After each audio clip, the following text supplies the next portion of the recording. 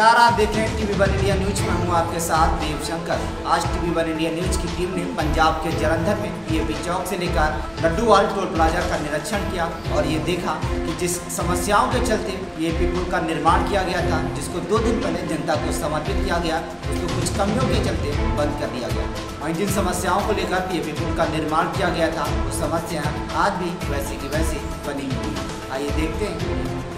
जालंधर में TV one India news की team ने पीएपी चौक से लेकर लडवाल टोल प्लाजा तक का निरीक्षण किया, जिसमें हमारी टीम ने देखा कि जिस पीएपी पुल को दो दिन पहले जनता को समर्पित किया था, उसकी जिस तरफ़ से ज़्यादा ज़रूरत थी, उसको कमियों के कारण बंद कर दिया गया और जिस समस्या के कारण पुल का निर्माण किया गया, वो समस्या अभी भी वैसी की वैसी है। वही जब हमारी टीम पी पीएपी से निकलकर रामा मंडी चौक गई तो वहाँ पर भी खामियाँ मिली। रामा मंडी का पुल भी 12 साल से रुका हुआ है। हमारी टीम ने आगे जाकर देखा तो टीम राष्ट्रीय राजमार्ग पर बहुत कमियाँ नज़र आई। साथ ही सड़क की दोनों ओर जो बैरिकेड्स लगे हैं, उनको कई जगहों से काट कर लोगों ने रास्ते बनाए जो कि हादसों का कारण बन रहे हैं। वहीं हमारी टीम ने देखा कि राजमार्ग और सड़क के साथ जो बारिश का पानी निकालने के लिए नाला बनाया गया, उसको भी कई जगहों से लोगों ने मिट्टी डालकर बंद किया। जब हमारी टीम फगवाड़ा बस स्टैंड के पास पहुँची तो वहाँ पर सड़क पार कर रही एक बुज़ुर्ग महिला को बाइक ने टक्कर मार दी। हम आपको फगवाड़ा के बस स्टैंड का हाल दिखा रहे हैं, आप देखिए।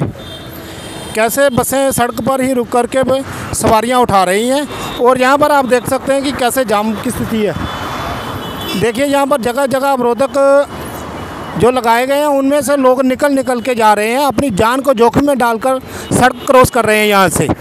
यहाँ पर कभी भी कोई भी बड़ा हादसा हो सकता है।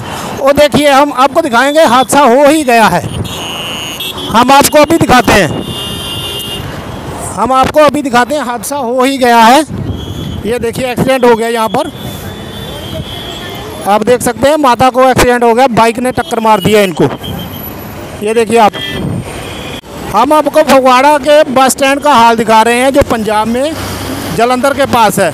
आप देख सकते हैं, यहाँ पर जो पुलिस मुलाजिम है, अगर कोई पुलिस मुलाजिम लगा हुई हुआ है तो वो सिर्फ़ बसों को कंट्रोल करने के लिए लगा हुआ है। उसको सड़क क्रॉस करने के लिए किसी को भी कोई नहीं बता रहे हैं। कि कोई सड़क क्रॉस करने के वास्ते यहाँ पर नहीं है। कोई अरेंजमेंट नहीं है यहाँ पर कि कोई सड़क पार करनी हो तो कैसे करे कोई? ये देखिए, जो मुलाजिम खड़ा हुआ है, वो सिर्फ़ बसों को कंट्रोल कर रहा है, बसों को साइड में निकाल रहा है। आप देख सकते हैं, ये देखिए, लोग कैसे खड़े हुए हैं, अपनी जान को जोखिम में डालकर सड़क क्रॉस करेंगे। ये हमारे पंजाब के highway number, national highway number one का हाल है। हम आपको दिखा रहे हैं, देखिए, कैसे जगह जगह अवरोधक हैं, मगर आप देख सकते हैं कैसे यहाँ पे जो अवरोधक लगे हुए हैं, उनके जो पत्थर पत्थर सड़क के ऊपर ही फेंके हुए हैं। और लोग आप अपनी जान जोखिम में डाल के सड़क क्रॉस करते हैं यहाँ से। और एक कारण यहाँ पर मुख्य कारण ये भी हो सकता है कि देखिए आप रिक्शा वाले सड़क के बीच में ही बैठे हुए हैं रिक्शा लेकर के, और जो ऑटो वाले हैं वो भी यहीं पर हैं। सड़क के ऊपर ही वो अपनी फड़ियाँ लगा के बैठे हुए हैं। आप देख सकते हैं, फ्रूट की रेडियाँ भी जो है, हाईवे के एकदम ऊपर लगी हुई हैं। जो हाईवे का फुटपाथ है, उसके ऊपर आप देख सकते हैं कि फ्रूट की रेडियाँ लगी हुई हैं, जूस की रेडियाँ लगी हुई हैं, और ऑटो भी यहीं पर खड़े हुए हैं। आप देखिए कैसे यहाँ पर कितना ट्रैफ़िक का लोड है, आप देख सकते हैं इस समय। वहीं फगवाड़ा में भी पुल 10 साल से रुका हुआ है। सबसे ज़्यादा हालात यहीं पर खराब है। वहीं टीम ने जायजा लेते हुए आगे गई तो फ्लाईओवर के सोमा कंपनी के सफ़ाई कर्मचारी सड़क पर सफ़ाई करते दिखाई दिए जो खाना पूर्ति कर रहे थे। जब हमारी टीम ने उनसे बात की तो पता चला कि इस कंपनी को अभी 10 मार्च को ठेका मिला है मगर 20 दिन में कंपनी 10 किलोमीटर की भी सफ़ाई नहीं हुई। तो ये क्या कारण है की गुराया में इतने जो मट्टी के ढेर लगे हुए हैं उठाते क्यों नहीं है? सर अभी हमारा टेंडर हुआ दस तारीख से। अच्छा। और हम उधर ही जा रहे हैं यहाँ दस। तारीख से आपका टेंडर हुआ है। हाँ जी। तो आज तीस तारीख हो गई है। बीस दिन में क्या आपसे मट्टी नहीं उठाई गई? टोल से काम शुरू किया हमने। टोल से? उधर से शुरू हुए आप इधर को? इधर को आ रहे हैं। तो बीस दिन में आपने मेरे ख्याल दस किलोमीटर का एरिया किया सिर्फ़ आपने? हाँ जी। बीस दिन में दस किलोमीटर। हर रोज आधा किलोमीटर? मिट्टी बहुत है सर। मीडियन में ग्रास भी काटते हैं। मीडियन कराओ की सफ़ाई भी करते हैं और साइड में मिट्टी बहुत ज़्यादा थी। तो आप ये बताइए आप गुराया तक या जलंधर तक कितने दिन में सफ़ाई कर दोगे? सर हमें पच्चीस दिन लगेंगे। एक महीना और लग जाएगा। एक महीना और लग जाएगा। आपको हम जरा इस समय फ्लोर के पास हैं नेशनल हाईवे नंबर वन। आप देख सकते हैं यहाँ पे सफ़ाई हो रही है। मगर जलंधर से लेकर हमने जहाँ तक देखा है कि कहीं सफ़ाई नहीं हो रही थी। यहाँ पर सफ़ाई नहीं हो रही है यहाँ पर तो। वहाँ पर हमने गुराया में देखा, मट्टी के ढेर हमने आपको दिखाए थे, कितने ढेर लगे हुए थे। और आप देख सकते हैं, यहाँ पर ट्राली भी खड़ी हुई हुई है इनकी, जो कि इस गंदगी को उठाएगी। हम शाम को यही, इसी रोड से दोबारा फिर गुजरेंगे और देखेंगे कि यहाँ पर कितनी सफ़ाई है। आपको हम नेशनल हाईवे नंबर वन का हाल दिखा रहे हैं आज। आप देखिए, ये सफ़ाई हो रही है। बंदे कैसे सफ़ाई कर रहे हैं? वहीं जब हमने कंपनी के सुपरवाइजर से बात की राजमार्ग पर जगह जगह मिट्टी के ढेर लगे हैं तो उसने बहाने बनाने शुरू कर दिए। हमारी टीम ने देखा कि जगह जगह रोड टूटा हुआ है और इस राजमार्ग को बनाने के लिए जो पेड़ काटे गए थे, उनकी जगह पर एक भी पेड़ नहीं लगाया गया। जबकि इस रोड पर टोल प्लाजा है, वो भारत के सबसे महँगे टोल प्लाजा में से एक है, मगर टोल प्लाजा की आमदन के हिसाब से सहूलत शून्य है। टीवी वन इंडिया न्यूज़ देखने वाले सभी दर्शकों का हार्दिक अभिनंदन। मैं जसवीर सिंह और मेरा साथी प्रदीप सिंह इस टाइम टीएपी फ्लाईओवर के ऊपर खड़े हैं। इस फ्लाईओवर का उद्घाटन अभी चंद रोज पहले ही हमारे शहर के गणमान्य व्यक्तियों द्वारा किया गया। ये फ्लाईओवर इस एरिया की मेन समस्या थी और लोगों की बहुत ज़्यादा मांग थी। इस मांग को पूरे करते हुए इस फ्लाईओवर का उद्घाटन किया गया। लेकिन फ्लाईओवर का उद्घाटन करने के चंद मिनटों के बाद ही इसको बंद, एक साइड से बंद करना पड़ गया। कारण जिस रोड के ऊपर इस टाइम हम खड़े हैं, ये रास्ता लुधियाना से जलंधर की ओर जाता है। इसके ऊपर उद्घाटन के चंद मिनटों में ही लगातार चार एक्सीडेंट हो गए। जिस कारण इसको पूर्ण रूप से बंद करना पड़ गया। जबकि दूसरी साइड जो जलंधर से लुधियाना की तौर पर जा रही है, ये निरंतर चल रही है। पर लोगों की मेन डिमांड इस रोड के ऊपर, नेशनल हाईवे के ऊपर, लुधियाना से जलंधर थी।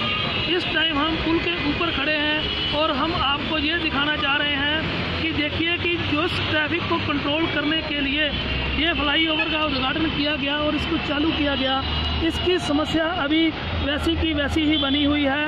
ये फ्लाईओवर के नीचे जो सड़क है, इसके ऊपर अभी आप देख सकते हैं कि कैसे जाम लगा हुआ है। और ये जाम सारा दिन ऐसे ही बना रहता है। इसके ऊपर बहुत ज़्यादा वी लोग और कारोबारी लोग हर टाइम निकलते हैं। पर उनको बहुत ज़्यादा समस्या आ रही है, क्योंकि ये रास्ता आगे अमृतसर और पठानकोट की तरफ़ जाता है, जहाँ पे हमारे देश के एयरपोर्ट्स हैं और लोगों ने अपने काम धंधे के लिए या व्यापार के लिए कई बार फ़्लाइट भी पकड़नी होती है या ये रास्ता जलंधर के रेलवे स्टेशन को भी जाता है और लोग इस जाम की वजह से अपने काम और अपनी मंजिल तक पहुँचने के लिए कई बार घंटों लेट हो जाते हैं। इस समय हम गुराया निकल के फ्लोर के पास पहुँच चुके हैं। आप देखिए जो वाटर ड्रेन यहाँ पर बनाई गई है, नेशनल हाईवे की ओर से।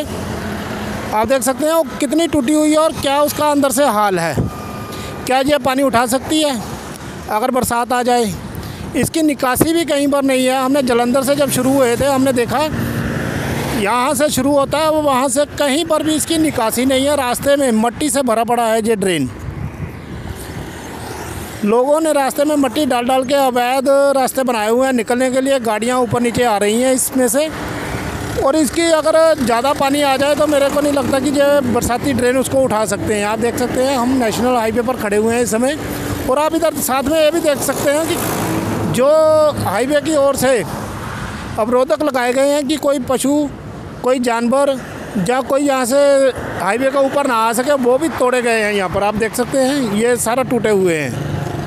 ये आप देख सकते हैं, इसमें कुछ भी नहीं है। अगर यहाँ से कोई भी आसानी से आर पार आ जा सकता है। और आप देख सकते हैं, सड़क के बीचों बीच जो डिवाइडर होती है, जो सड़क के बीचों बीच डिवाइडर होती है, उस पर भी कोई अवरोधक नहीं है, ताकि कोई सड़क इधर उधर क्रॉस ना कर सके, ताकि किसी का जानी माली नुकसान ना हो।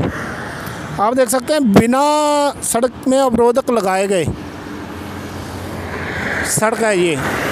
यहाँ पर हमेशा जान का खतरा बना रहता होगा मेरे ख्याल जहाँ पर इस समय हम फगवाड़ा निकल कर गोराया के पास पहुँच चुके हैं। आप देखिए जहाँ पर जो सफ़ाई की गई हुई है रोड की, हाईवे की जो सफ़ाई की गई हुई है, उसकी मट्टी जो है, वो सड़क के ऊपर ही पड़ी हुई है, आप देख सकते हैं। कितनी मट्टी है, दूर तक आप देख सकते हैं, ये सारे मट्टी के ढेर लगे हुए हैं।